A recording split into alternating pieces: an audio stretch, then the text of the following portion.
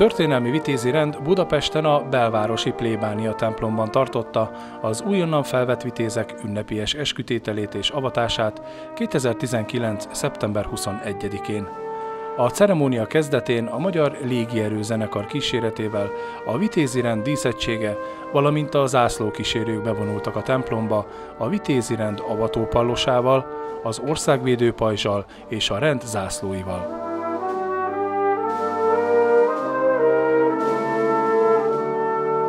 Őket követte a történelmi vitézinent főkapitánya Vitéz Hunyadi László a vitézi szék tagjaival.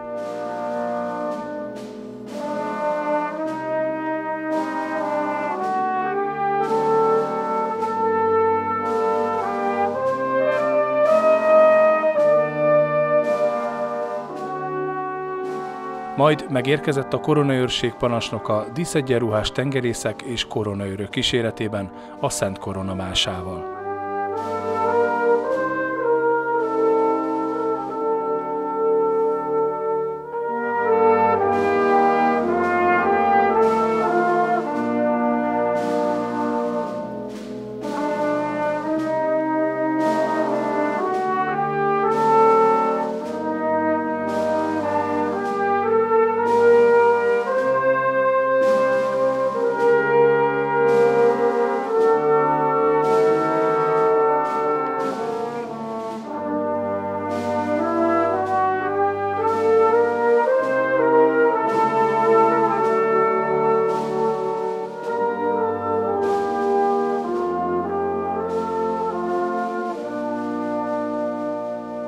A himnusz követően elhangzott a rendimádsága, a Magyar Hiszek egy.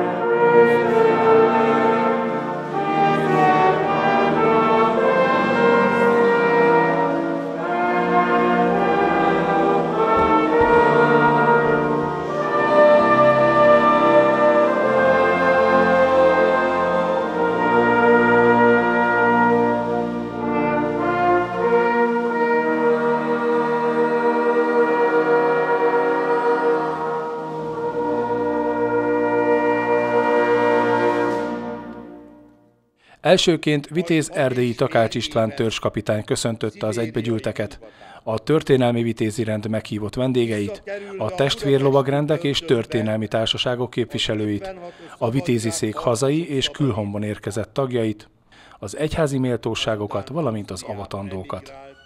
Pohárnok Jenő Én így imádkozom című versét Pintér Zsejke második osztályos tanuló adta elő.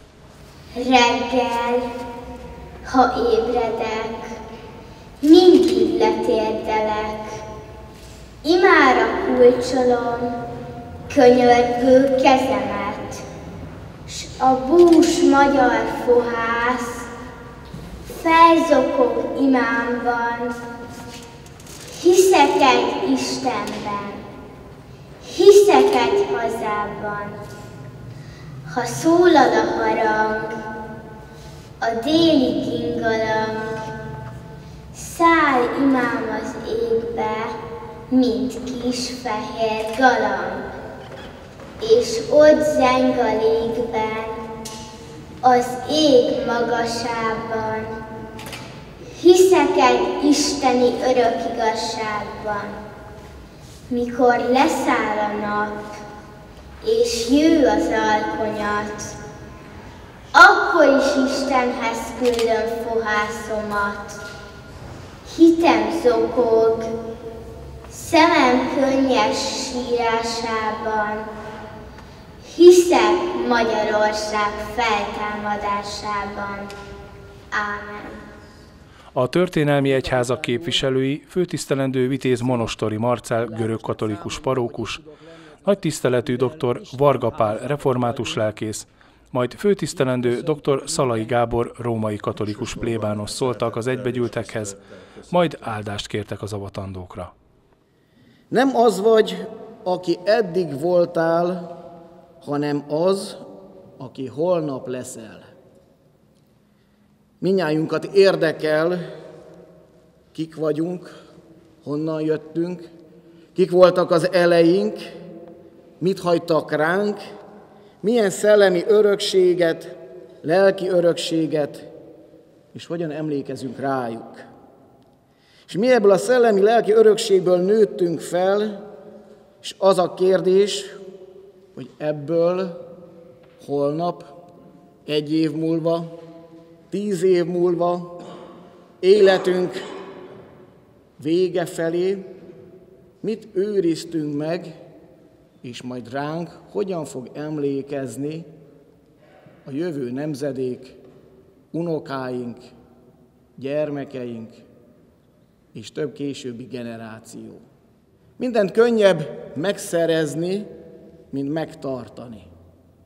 És ha belegondolunk, ezt is át tudjuk érezni. Ezen az emelkedett ünnepségen átérezzük, hogy eleink mit tettek, és mit őrzünk, és mivé akarunk mi is válni ezáltal, milyen értékrendet képviselünk, és hogy ez az emelkedettség, ez meg tudjon maradni a késő vénségünkben is. Minden könnyebb megszerezni, mint megtartani.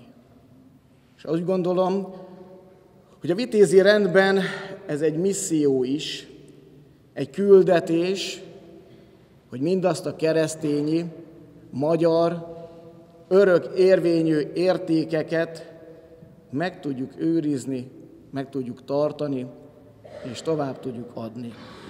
Mindig voltak és lesznek provokáló hatalmasok, olyanok, mint Góliát volt.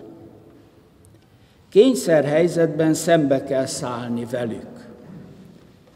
És jó a pásztor Dávid példája, aki nem ugyanolyan fegyverrel harcol, mint a hadi hatalmasok, hanem észszel és a saját jó fegyverével. Pálapostól szerint mi Jézus követői legyünk józanok, vegyük magunkra a hit és szeretet páncélját, és sisakként az üdvösség reménységét, írja Pál a tesszalonikai első levél 5. fejezetében. A háborúkban sokszor népek állnak egymással szemben, de a háborúk elkerülhetők egyes személyek bátor kiállása folytán. És szerintem ezek az igazi vitézek ma is, ahogyan akkor Dávid kiállt az ő népe nevében. És ahogy Dávid bízott Isten segítségében, ahogy hallottuk, úgy kell nekünk is a hit elejével harcolnunk, tudva azt, hogy az emberi történelmet végül is Isten irányítja. És ebben mi az ő eszközei vagyunk. Azt gondolom, hogy Isten kegyelmében vízva tudjuk megvalósítani mindazt, ami a vitézkedéssel együtt jár. A saját küldetésünkben, a saját szolgálatunkban helytállva, kitartva Isten mellett magyar hazánkat szolgáljuk, és azt a közösséget, amelynek mi is részesei vagyunk, lett légyen az az egész magyarság, vagy itt a szűkebb határok közé szorult Magyarország, akár az a közeg, amelynek mi alkotó tagjai vagyunk, mint családtag. Isten adja, hogy ebben legyen részese minden avatandó vitéz, és most itt önön magamra is gondolok, és így fogadjuk az Isten áldását, és Úr áldjon meg titeket, védelmezzen minden rossztól, és vezessen el az örök életre. A lelki útmutatásokat követően Dévai Nagy Kamilla, Liszt, Bartók és Kazinci díjas előadóművész, gitáros, énekes előadása emelte az ünnepi hangulatot. Szállj, dalom, szállj, gyönge határokon túl, a hargitáig szállj, bátorítsd a csüggedőt, vigasztald a szenvedőt.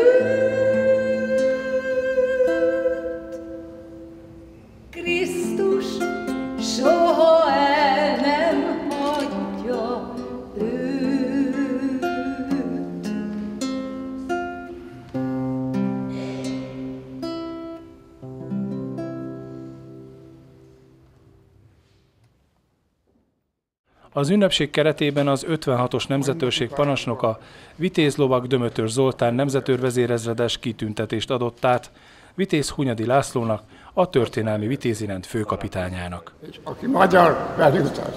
Köszönöm.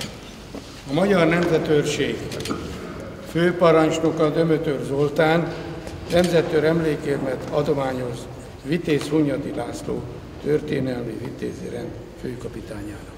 Köszönöm. Magyar történet 48 Hazámat szolgálom. Köszönöm szépen. A Magyar Légierő zenekar karmestere Vitéz Katona János alezredes érdemes munkássága elismeréseként a Vitézi Szék okirati dicsérő elismerését kapta. Remeg a föld, remeg az ég. Az eskütételre készülve az egybegyűltek meghallgatták a Magyar Légierő zenekar előadását.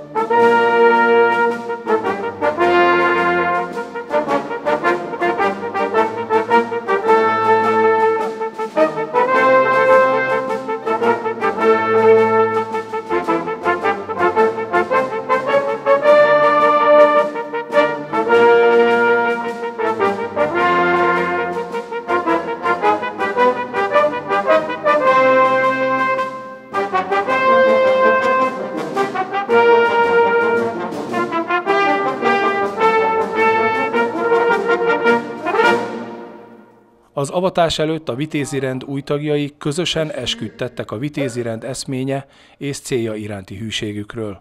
Az eskü szövegét Vitéz Kerecsen László törzskapitány mondta elő az avatandóknak. Esküszöm a Szent Koronára, hogy a vitézi rend célkitűzéseit, a rendi kódex előírásait ismerem, azokat a vitézi rend főkapitánya, és a vitézi előjáró utasításához hűen,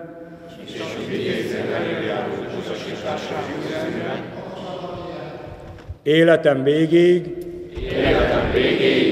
minden körülmények között megtartom. Minden körülmények között megtartom.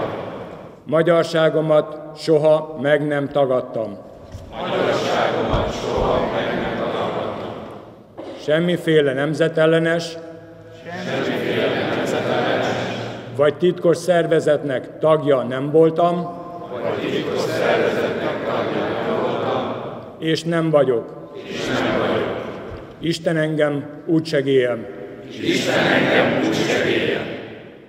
Az eskütételt követte az ünnepség legmagasztosabb része, a vitézavatás, melynek kezdetén a posztumusz hősök vitézé nyilvánítására került sor.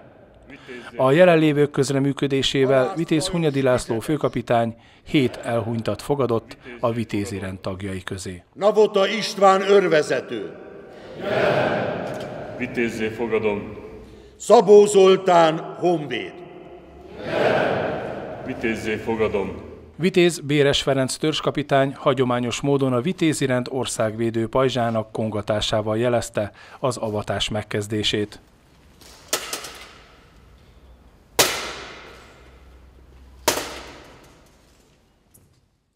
A rend legmagasabb döntéshozó testülete a vitézi szék, kivételes esetben a rend tiszteletbeli tagjává választhat olyan személyeket, akik a magyar nemzet vagy a vitézi rend érdekében kimagasló érdemeket szereztek. Ezen hitvallás alapján 2019-ben Mádai Norbert író, hagyományőrző szabjavívó mester, kungfu mester, a magyar hadtörténelem és fegyvertörténet elismert szakértője vált a történelmi vitézirend tiszteletbeli tagjává. A ceremónián területi törzsenként a területi törzskapitányok név szerint szólították az új rendtársakat. Elsőként a külhoni törszékek újonnan felvett vitézeit szólította Vitéz Imre László törzskapitány. Legfőbb hadúr nevében vitézzel vannak. Buda és Pest törszékek avatandóit Vitéz Balog Barna törzskapitány, Dél-Közép-Magyarország törszékének avatandóit Vitéz Tiszavölgyi István törzskapitány szólította.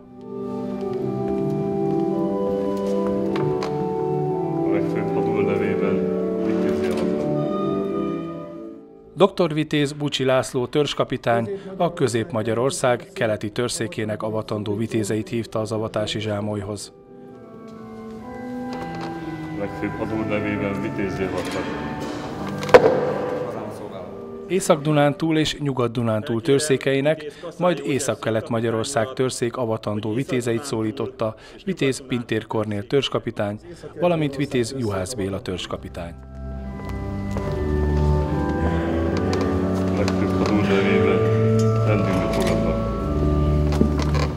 Hazámat szolgálom! Végül Délalföld törszék újonnan felvett vitézeit dr. Vitéz Domonkos István törzskapitány, majd a Dél-Dunántúli törszék avatandóit Vitéz Szárazajtai János törzskapitány hívta a zsámolyhoz. A legfőbb hadúr nevében vannak. Vitéz Hunyadi László a történelmi vitézirend főkapitánya 2019-ben összesen 58 főt avatott a történelmi vitézirend tagjává. A rendtagjai közé két fő saját érdemei alapján 27 fő várományosként, a nemzetvédelmi tagozatba 29 fő nyert felvételt. A legfőbb nevében vitézzel vannak. A főkapitány az avatási szertartást követően köszöntötte az új rendtársakat és a szertartás résztvevőit. Esküszöm a Szent Koronára, hangzott el az eskü szövege. Ez egy ezer éves keresztény magyar szimbólum, amely mindenképpen a világ elismerését kell, hogy kivívja és megtartsa. Ez a szimbólum az, amelyik ezer éven keresztül óvta Nyugat-Európát, védte az európai kereszténységet, és benne az európai lakókat hitükben és biztonságukban. Azt a évezedes hagyományt, amelyet mi örököltünk, és ennek letéteményései vagyunk, meg, meg felelősei és vigyázói. Ezt a hagyományt kell, hogy a most fiatalon, frissen avatott vitézeink tovább vigyék, hiszen nagyon érett a helyzet, a történelmi helyzet arra, hogy újra és újra meg kell mutatnunk keresztény Európánk szellemi és lelki és erkölcsi súlyát, hiszen ez az erkölcsi súly adott annyi csodálatos eredményt a világnak, és benne Európában is, Európában, illetve Magyarországnak, hiszen nagy történelmi események és nagy történelmi szimbólumok kötődnek ehhez a kereszténységhez, hiszen mi a legfontosabb személyiséget, amely ez a keresztény Európához Magyarországon kereszt, keresztül csatolódik, ez a Magyarok Nagyasszonya elnevezés, amelyet mi a szűzanyára alkalmazunk. a sok fohász és a sok könyörgés, amely elhangzik évekről, év, évtizedeken keresztül ebbe az ügyben, jövőre újra megrendezőnek látszik, hiszen az eukarisztikus kongresszus alkalmából sok száz, sok ezer, sok tízezer, sok, sok millió magyar köthet újra közelebbi kapcsolatot a szűzanyával, és kérhetjük azt a segítséget, hogy legyen a magyarság Európa számára példakép, hiszen ez az ezer év nem telt el nyomtalanul az ő életükben sem, hogy visszatérjen a keresztény Európa ahhoz a világnézethez, ahhoz a meggyőződéshez, ahhoz a hithez és ahhoz a becsülethez, amely most egy kicsit megrendülni látszik. Nem kisebb a feladatok ebbe a világba, hogy ezen a követ, követ, előttünk álló évtizedekben legyen erőtök, egészségetek és kitartásatok, akaratok ebben támogatni a világot, Európát és a keresztény magyarságot. A történelmi vitézirend 2019 évi budapesti vitézavatási ünnepsége, a szózat, a székely himnusz, majd a Boldogasszony anyánk című katolikus magyar néphimnusz eléneklésével ért véget.